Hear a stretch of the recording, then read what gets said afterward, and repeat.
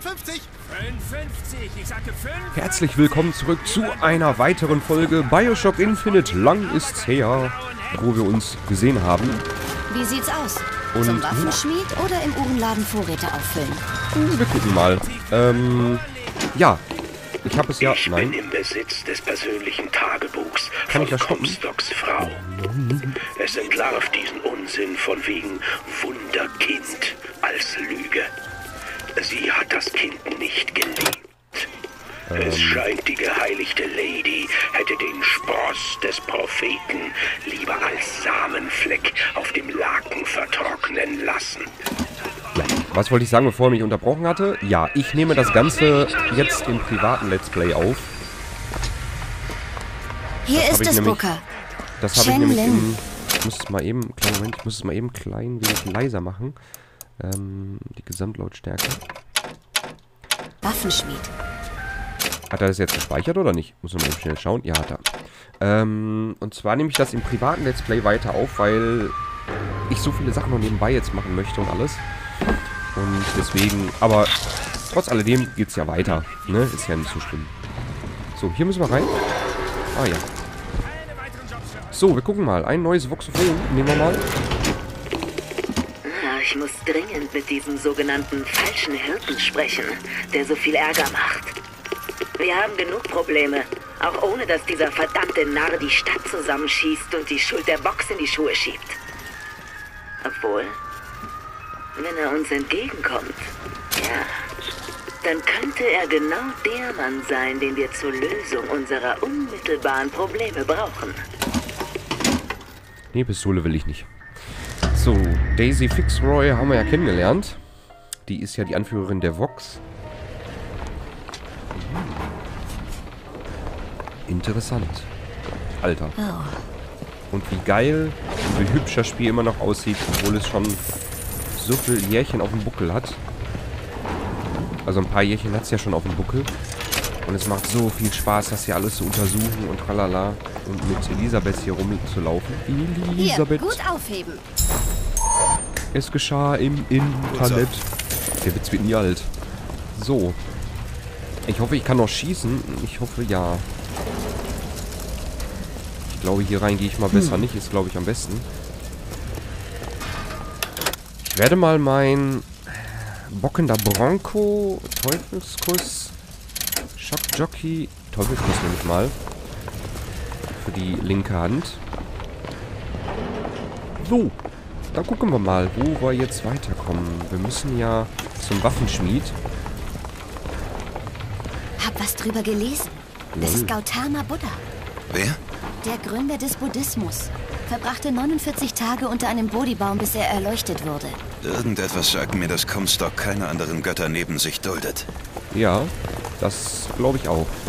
Comstock, Entschuldigung, ist sehr einsinnig. Ich musste gerade heimlich aufstoßen. So viel Kaffee getrunken habe. Ist übrigens, äh, für die Leute, die es vielleicht interessiert, ich äh, erwähne es mal. Weiß nicht, ob einige das interessiert. Ähm, ich nehme das gerade nach der Aufnahme von Assemblance auf. da? Was ist hier passiert? Jemand hat hier alles auf den Kopf gestellt. Aber Bestimmt die örtliche Polizei. Ich bin... Was? Hören Sie das? Unten ist jemand. Ja, gleich. Jetzt gerade nicht. Ich wollte gerade was kurz erwähnen. Auch ein Lock Lockpick nehmen wir mal mit. Eine Dose Gesundheit. Wir haben zwar genug. Ähm, was wollte ich gesagt haben? Achso, ich finde es immer sehr großartig in Spielen, wenn, was zum Beispiel bei Bioshock immer schon so war, was viele Spiele eigentlich nicht mehr heutzutage haben. Denn äh, bei Bioshock ist es zum Beispiel so, alles, was hier existiert, hat auch einen Sinn und eine Funktion. Und dass es hier so alles funktioniert, das finde ich immer so total geil. Das ist alles so Zahnräder sich bewegen, Motoren funktionieren, die auch Sinn ergeben, wofür sie sind und tralala. Das liebe ich so an Bioshock. Und das gibt es in den Spielen heutzutage viel zu selten. Dass vielleicht auch in, vielleicht in Büchern so erklärt wird, wieso, warum. Das war ja in Bioshock 1 auch so. Dass auch alles erklärt wurde, warum und wie das alles funktioniert. Das finde ich so geil. Verzeihung. Ma'am, entschuldigen Sie die Störung. Wir suchen Mr. Lin. Mr. Chen Lin? Booker, Mr. Lind nicht hier. Er fort. fort? Sie geholt. Fliegereinheit. Ich beten Gautama Buddha. Beten bringen Mann zurück. Bringen Mann zu Melin. Und wo ist er jetzt? In Club. Alle bringen in Good Time Club. Wo ist dieser Club? Ma'am, bitte, wo ist dieser Club? Booker, wir finden ihn. Lassen Sie sie. Warum nicht Vox Populi hilft Chenlin? Warum nicht Daisy Fitzroy hilft Chenlin? Wer ist die Fliegereinheit? Cops. John. Die Sorte, die Lynn wahrscheinlich gerade in die Mangel nimmt, um zu erfahren, wie eng er mit Daisy Fitzroy ist. Ist das nicht die, für die wir arbeiten? Ja, genau so ist es. Okay, finden wir raus, wo dieser Good Time Club ist. Dann gehen wir mal zum Good Time Club. Der Name alleine schon ist lustig. Good Time Club. so. So, da gucken wir mal. Ja, ja. Ich glaube, wir müssen hier raus, ne? Verlassen den Waffenschmied. Ja. Okay. Ich finde es das geil, dass das so in so Mini-Levels auch unterteilt ist, so mit dieser Zwischenwelt. Da haben sich echt Mühe gegeben auch mit. So. Ich höre, was die Leute sagen. Äh, was wackelt hier so? Fink, warum müssen wir 16 Stunden am Tag arbeiten? Also, ganz klar. Nichts wäre mir lieber als meine What the fuck? Ähm, muss ich gegen den kämpfen jetzt? Ich glaube ja. Aua, lass das. Warum muss ich gegen den kämpfen? Warum? Alter, wow. Danke. Uah.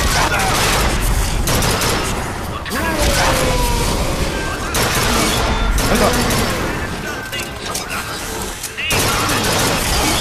Ich kann gerade nicht. Emily. Äh, Emily, äh, Elisabeth, Emily, sag ich schon. Emily wants to play. Wir haben eine Seite, du Penner. Lass mich in Ruhe. Lass ich klemme. Hallo, ich klemme. Alter, lass mich doch in Ruhe. Was wollte der von mir? Ich kann Sie nicht leiden, Mr. DeWitt. Aber ich gebe zu, im Kampf stehen Sie Ihren Mann. Ja, natürlich. Oh. Ausrüstung beachten. Die Ausrüstung ist eine Art Spezialkleidung, die dir besondere Fähigkeiten verleiht. Du kannst immer nur vier Ausrüstungsteile gleichzeitig tragen, in Klammern je ein Teil pro Ausrüstungstyp. Du kannst deine Ausrüstung im Spielmenü verwalten. So, neu, Hemd, Pyromanie. Wenn geschlagen, 50%ige Chance, nahe Feinde zu verbrennen. Verursacht 400 Schaden über 3 Sekunden. Vergleich anzeigen. Jetzt haben wir gerade momentan Munitionsvorteil. Erhöht die Magazingröße aller Waffen um 75%. Das lasse ich. Das lasse ich. Das lasse ich. Äh, nur nehmen, genau. Kann man immer noch ändern, weil mehr Munition finde ich immer sehr gut. Hier dürfen wir, glaube ich, nicht lang, ne? Wir müssen aber, glaube ich, hier lang. Kann das sein? Ja, wir müssen da lang. Ähm, was ich bei den Docs gefragt habe. Ja? Weiß nicht, wodurch ich dich umgestimmt haben sollte. Sie haben mich beschützt. Job ist Job. genau. Job ist Job. Oh, Salze. Sehr schön. Nehmen wir mit. Da lang müssen wir. Ich will mich noch mal ein bisschen umsehen. Ich hab, ja, oh, oh Gott. Okay, alles klar.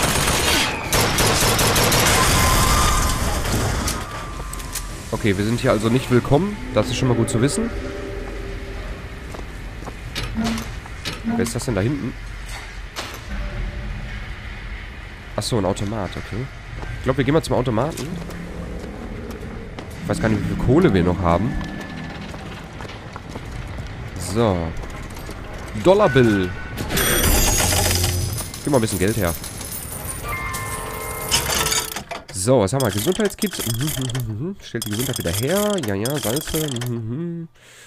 So, Munition für Karabiner 25 von 86 haben wir.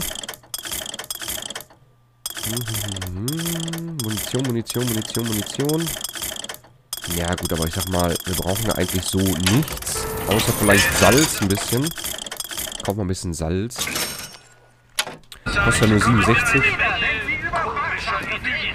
Da leuchtet irgendetwas. Ich habe keine Ahnung, was das ist. Oh, Silver Eagle. Sehr schön. Ein Saxophon. Sehr hatte nice. mich keiner beachtet. Dann dachten sie, ich hätte Lady Comstock getötet. Und alle waren hinter mir her. Ich bin nach Finden und habe mich versteckt. Bin untergetaucht. Je mehr sie gesucht haben, desto weiter bin ich abgetaucht. Das ist das Einzige, worauf sich ein farbiges Kind verlassen kann.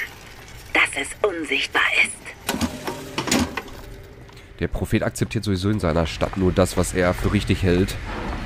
Und deswegen, also kann ich mir vorstellen, deswegen wird er jeden ausschalten, jeden beiseite schaffen, Hier ist es, ihm im Weg Jetzt steht. müssen wir nur noch rein und Mr. Lin finden.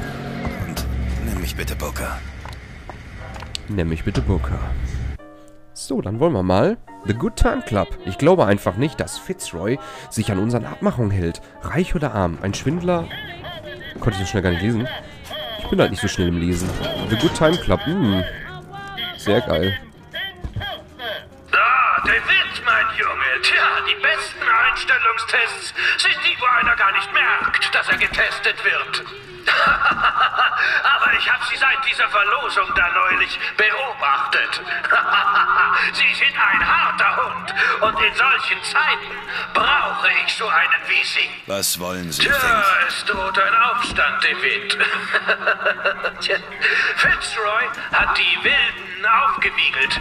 Da hätte einer wie ich schon Verwendung für einen alten, Pinkerton-Mann wie Sie. So, gucken wir uns mal hier das, das kleine Videochen an. Mal gucken.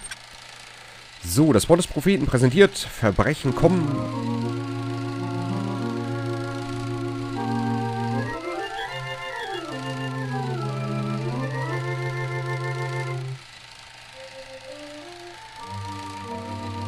Mhm. Und Schlimmeres.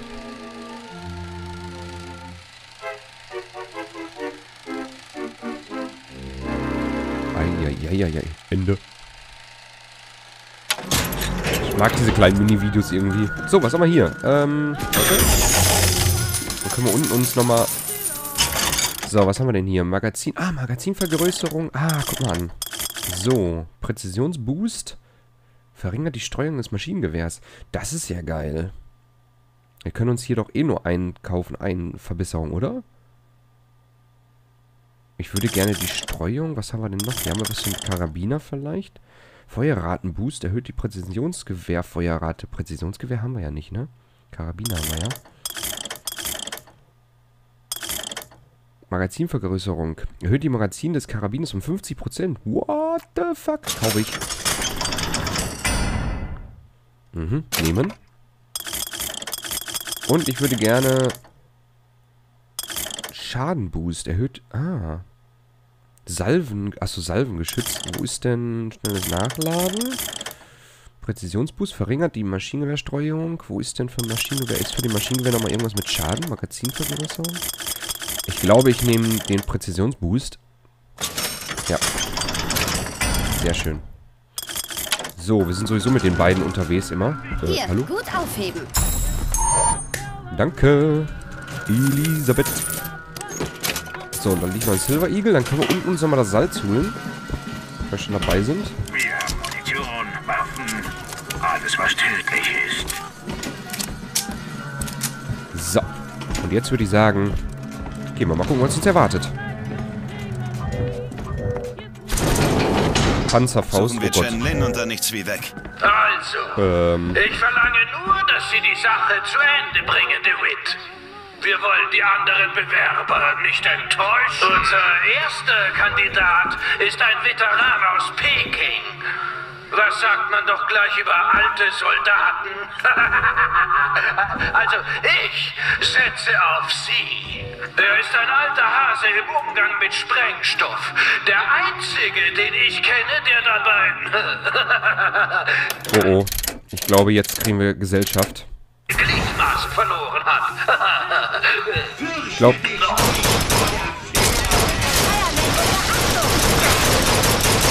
Hier, Oh! Hier, bitte! danke. Boah.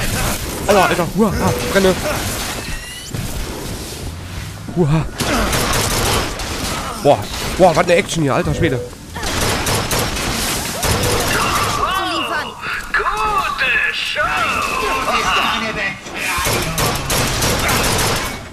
Boah, ich muss noch ein bisschen in Deckung bleiben.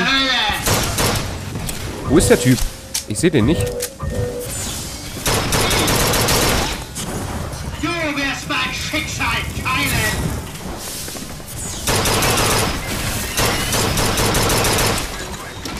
Okay, solange wir hier oben sind, haben wir so ein bisschen Ruhe. Ich brauche Munition. Warte mal. Äh, Munitionskiste? Ach nee, Medizinkiste.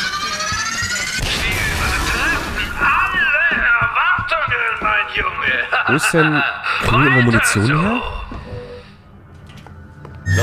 Dieser junge Draufgänger ist ein früherer Verehrer von Lady Comstock. Ich brauche Munition, verdammt. Aber ohne das alte Mädchen weiß er nichts mit sich anzufangen. Ich habe ihn an der Jobbörse ergattert. Für kein Geld. Ich brauche unbedingt Munition. Haben wir hier Munition? Oh, Munition für Karabiner. Sehr schön.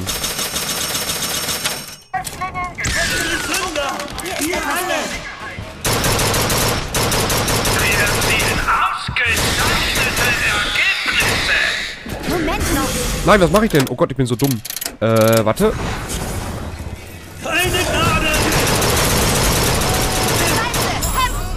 Danke.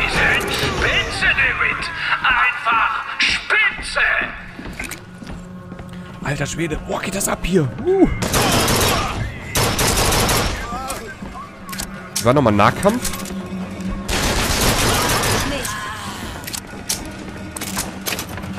Ich brauche unbedingt Nahkampf. Äh, ich brauche nur mal nach. Wo ist Nahkampf nochmal gewesen? Kreis? Nee. Viereck? Nein. Ach, Dreieck, okay.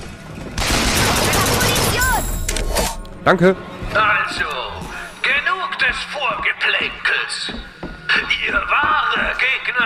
Ist ein Automatenexperte. Er will alle Sicherheitskräfte durch Maschinen ersetzen. In einem hat er recht. Es wären weniger Euler zu füttern.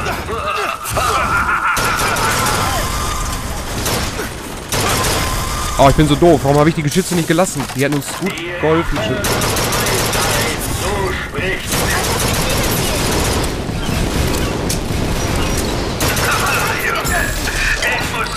Alter, was? What the fuck? Leider alles. Ja, ist nicht so schlimm.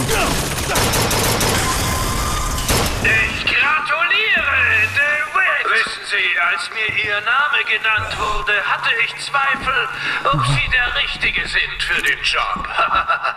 Aber jetzt kann ich sagen, dass ich mich getäuscht habe. Ich bin nicht interessiert an Ihrem Job, Fink. Also, ich weiß alles über Ihren kleinen Job für Fitzroy. Aber wollen Sie wirklich Ihrem Angebot den Vorzug geben? Manch einer würde töten, um Sicherheitschef bei Fink zu werden. Sie sind eine harte Nuss, Mr. DeWitt. Eine harte Nuss. Aber ich verspreche Ihnen, ich kriege, was ich will. Ich verspreche Ihnen, ich kriege was. Sie Nicht auf mich richten, das Ding. ja, entschuldige bitte. Geh aus dem Weg. Ich gehe mir nochmal Munition holen, vorsichtshalber. Besser ist. So, Salz haben wir genug. Brauchen wir Geld? Ja, gib her. Jetzt haben wir 912. Sehr schön. 12 Taler bekommen. 12 Geld. Boah, war das ein... Das war echt ein krasser Kampf. So, was ist hier hinten? Steht hier noch irgendwas? Was ist das hier? Uh, was ist das? Salze voll. Okay. Ich schaue mich noch mal ein bisschen um. Medizin ist auch voll. Wir haben kaum Medizin verloren, mehr Schild. Ich guck mal, dass wir demnächst das Schild ein bisschen erweitern. Salz haben wir jetzt auch schon verbessert und so. Booker, da drüben ist eine Tür. Ja, gleich. Ich will mich erstmal ein bisschen umsehen, ein bisschen sammeln. War hier oben noch irgendwas?